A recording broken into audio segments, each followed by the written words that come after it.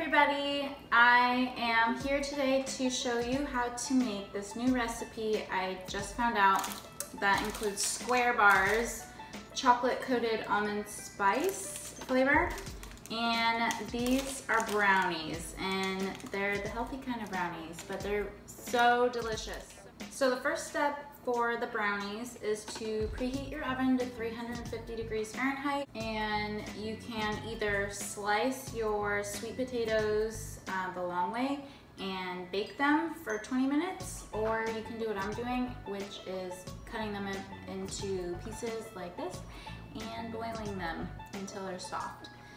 After that, we're gonna put them, we're gonna make sure they're cooled and then put them in the food processor with the dates and mix them up and go from there. So while we're waiting for the sweet potatoes to boil, I'm going to add all of our ingredients together. So here I have the coconut flour. Smells really good. And I'm using coconut flour instead of brown rice flour just because I like the taste better.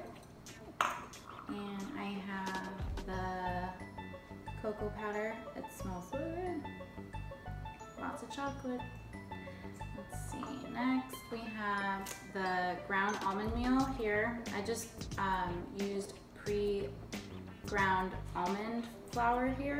Um, you can also make your own. So I'll add that.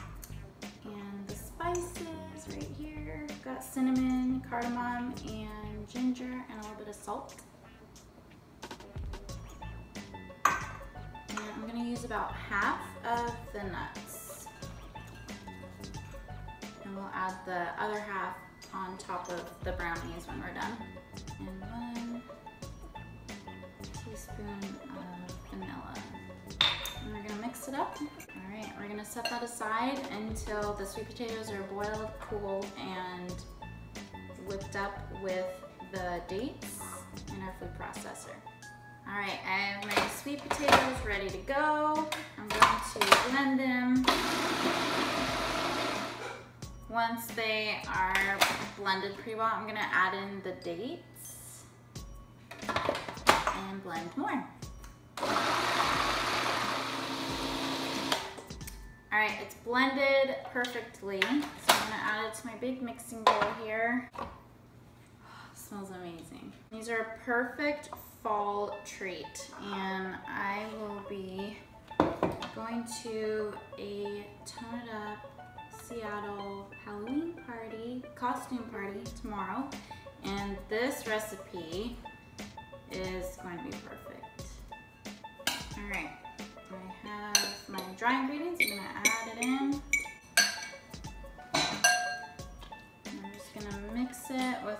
fork.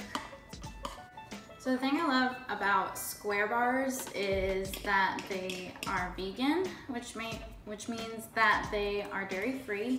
And for me, I'm lactose intolerant and they are the most perfect dairy free bar that I've ever had.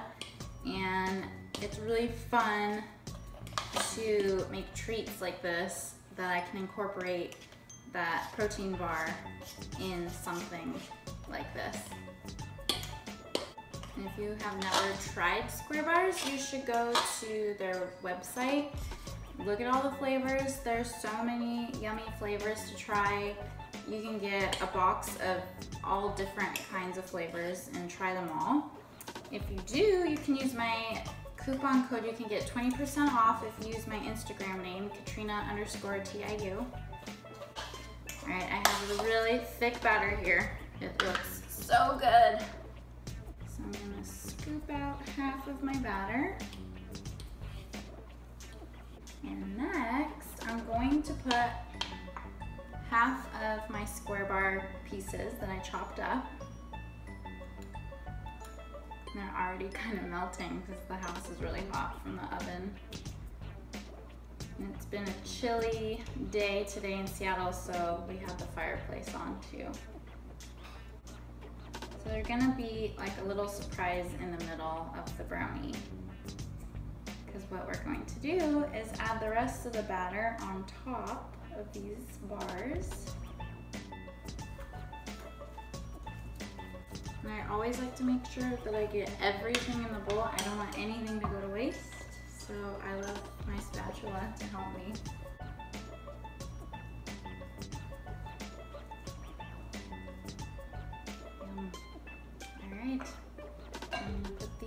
Pieces on top. then the rest of the nuts that we left behind that were in the batter, we're gonna sprinkle on top and give a little extra crunch to the brownie. Next, I'm gonna put it in the oven for 30 minutes or until uh, you can prick a toothpick in the middle and it comes out clean and that means they're done. The brownies are done and they look really great. So you can use a knife or a toothpick and you just put it into the middle, and make sure it comes out clean and it did. So it is ready.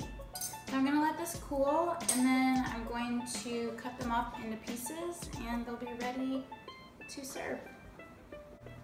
That's it for the brownies. Thanks for watching and comment below if there are any other videos or recipes that you would like to see. Thanks, bye.